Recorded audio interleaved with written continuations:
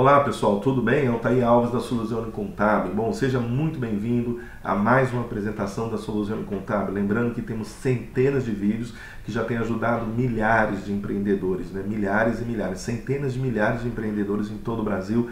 E isso aí é, deixa a gente realmente muito satisfeito e muito feliz de poder ajudar empreendedor em todo o Brasil. E se você ainda não está inscrito no nosso canal aqui no YouTube, você tem a possibilidade de descer um pouquinho aí o teu, teu visor e tem um botãozinho vermelho, inscreva-se. Você clica aí, conectado com a sua conta no Google, você já fica inscrito e você ativa aí também a notificação para que toda vez que um novo vídeo você também tenha acesso.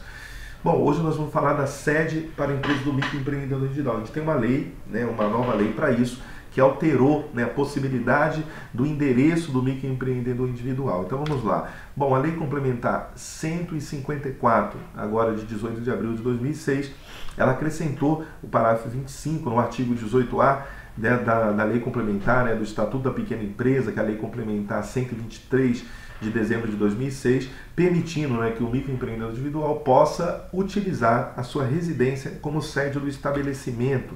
Então vamos falar um pouquinho sobre a lei. Uh, tá lá. O MEI poderá utilizar a sua residência como sede do estabelecimento, quando não for indispensável a existência do local próprio para o exercício da atividade. O artigo 2 essa lei entra em vigor na data da sua publicação, em 18 de abril de 2016, né, que foi a sua publicação. Bom, vamos lá. Pontos importantes. Né? Primeiro, a regulamentação da lei. Né? toda a lei complementar, desde a 123 de 2006, que é o Estatuto da Pequena Empresa, né, ela passa por uma regulamentação e o Comitê Gestor do Simples Nacional tem essa responsabilidade, né, é como se estivesse traduzindo a lei para a execução, né, estivesse criando as possibilidades para que ela possa ser realmente executada. E então a gente precisa realmente dessa regulamentação e adequação das prefeituras.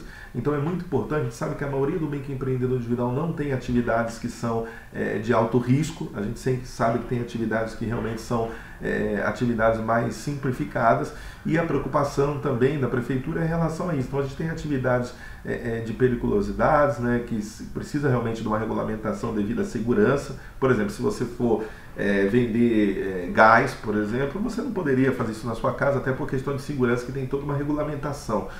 Mas é, a maioria das atividades, que 80, 90% das atividades, pode ser, de forma simplificada, pode ser aberto também aí pelo MEI e possa agora, a partir dessa lei, pode ser usado também a sua residência. Uma outra coisa também é que a Secretaria da Fazenda, sempre estadual, né, que regulamenta aí o ICMS, e as inscrições estaduais, que são para as empresas comerciais, sempre se preocupou, porque a própria lei é, fala na, na, na, própria fiscalização. Né? A fiscalização não pode entrar na sua casa sem um mandato judicial. Né? Então teria que ter um endereço separado da sua residência. E agora, para o microempreendedor, eles facilitaram isso. Então é muito importante que você que está assistindo esse vídeo, procure né, um contador na sua cidade, até para entender na regulamentação da prefeitura em relação à interpretação dessa nova lei é, relacionada ao endereço também do microempreendedor individual, tá bom?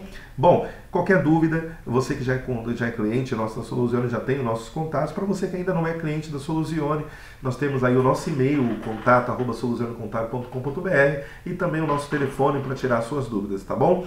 Bom, Uh, ah, para você, mais uma vez, aí que não quer perder nenhum conteúdo da Soluzione, que nós temos ajudado milhares de empreendedores em todo o Brasil, você pode se inscrever no nosso canal do YouTube. Será um prazer muito grande ter você nessa comunidade de empreendedores que tem realmente crescido a cada mês. Né? E a gente tem a possibilidade de ajudar você também com o nosso conteúdo. Às vezes você está longe, a gente não consegue prestar uma assessoria é, é, mais de perto aí para você, mas através dos nossos vídeos nós vamos ajudar vocês a crescerem também como empreendedores, tá bom? Fica com Deus, vejo você no próximo vídeo, um grande abraço.